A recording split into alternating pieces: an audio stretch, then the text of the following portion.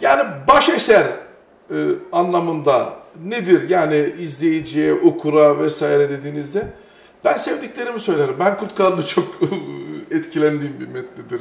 Ama yani yol ayrımı gene aynı şekilde.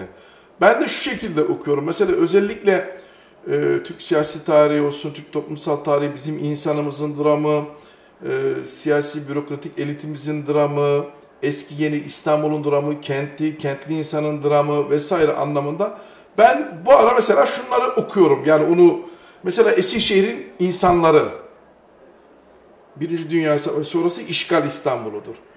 Eskişehir'in mahpusu onun, onun devamı niteliğindedir. Arkasında milli mücadele eksen olarak yorgun savaşçı.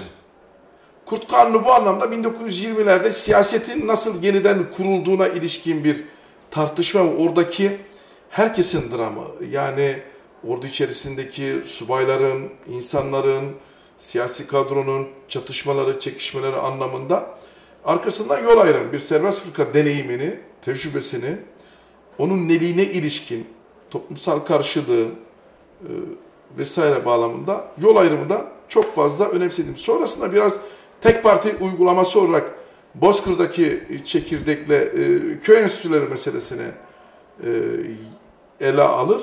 Dolayısıyla mesela bu eserler tam bir, bir şey oluşturur, dizi oluşturur benim açımdan. 1918'den 1940'lara kadar Türkiye'nin o toplumsal evreni, kültürel evreni, siyasi evrenine ilişkin okuyucu düzenli bir biçimde hep toplumdan yana bir tutumla ve sıcak ve gerçekten namuslu.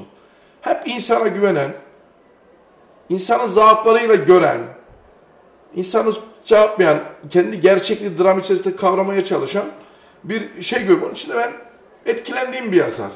Okuduğum ve okuttuğum bir yazar. Yani bunlardan